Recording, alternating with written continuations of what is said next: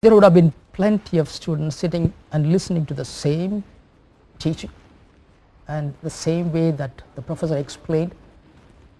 But I believe that at that point of a time, there was something within you or something God found in you that made the profound difference than the other people.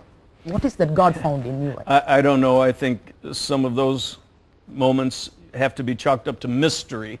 You know, I, I, I'm not, I was nothing special. If you ask my professor uh, if he even remembered me in that class, he likes to say to people these days that Bill was, he was just like every other student.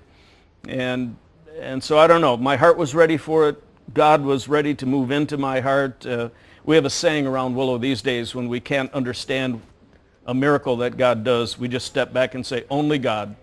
Only God's power, only God's sovereignty, only God's wisdom. We don't know. So we just go, only God. But I definitely believe that something that was within you, apart from God, you know, doing something amazing, He picks up people uh, the way He wants it. But there was something within you yielded you and just exploded.